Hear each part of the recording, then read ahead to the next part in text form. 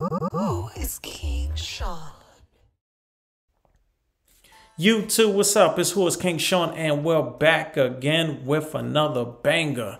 Yes, you see her. She's in handcuffs, right? She's based out of Houston, Texas. She went down. They said she made up to $3 million fixing people credit. Let's see what she done illegal. Nine-year-old Rokisha Brisby was led in front of a judge today. More and more folks are coming forward that have used her to try to fix their credit. After being arrested Friday for what investigators call a multi-million dollar credit repair scheme. Wow. She went in basically would manipulate police reports. Court documents linked to Brisby's social media. Her That's website crazy. says your credit won't fix itself. She used my front page of the police report with my name on it. But precinct four constable That's Mark crazy. Herman says it was under the guise of that business, Rose Credit Repair, where he says she would commit illegal activity, falsifying police reports to increase her clients' credit scores. Was she submitted police reports on these folks' behalf saying that the monies that were spent were fraud or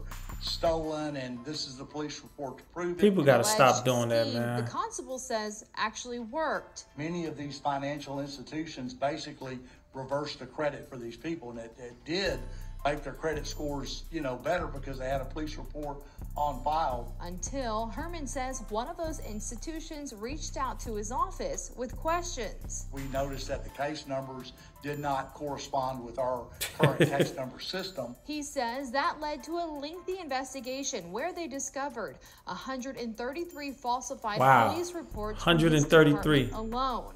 And Herman says there's evidence she used reports from other agencies as well. fbi is involved with us uh, we flagged many of her uh, bank accounts and uh, we'll be able to see exactly They gonna catch y'all. much money Telling you. off customers In Houston, They Janelle cracking down. KHOU 11 News.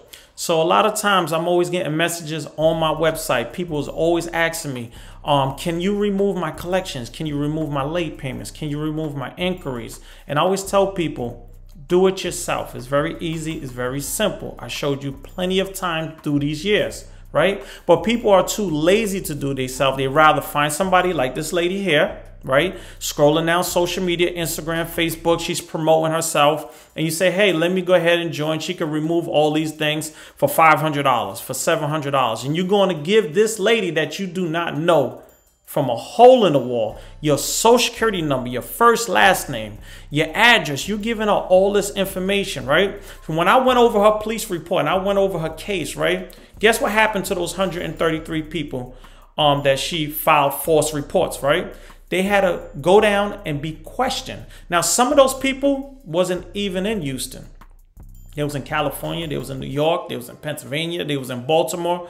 They was subpoenaed to go down and be questioned about if they had any kind of parts in this. Did you know this lady was doing this? Now, why would you have to waste your time and you want to go through all these headaches because you're lazy to do it yourself, you know? And just like when um I don't want to say, but the C word a couple years ago, uh, that happened when the world stopped and things was going crazy, right? Well, what's happening is that people started fixing people's credit and uh, they'll keep the information. What they do is they'll fix your credit for you, right? And they'll wait about a year. And after a year, after you done forgot about it, you done got credit cards, you done moved on with your life. Guess what they was doing? They was selling your information. They was selling your name. They was selling your social security, right? They was selling it to companies or they was using it for CPNs or all kind of fraudulent things that was going on.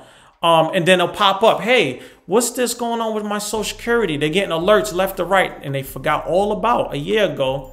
I got my credit fixed. I gave somebody my information that I don't even know. So again, you got to think about these things when you following these people and you want to get your credit fixed and you want to move. Do it the right way. We got to stop being lazy. We actually got to do the work.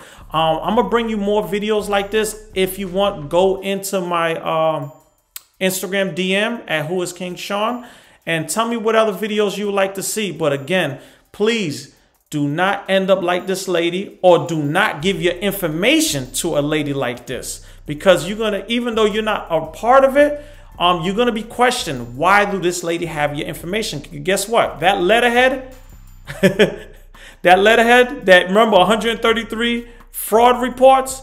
One of those letters might have been you, and you're gonna have to question Why is your information on this? And who is this person? And who is she to you? And what is going on? So again, get in the comments. Tell me what you think. If you know about this case, get in the comments. Tell me what you think. Like, comment, subscribe. But for now, I'm up out of here. Peace.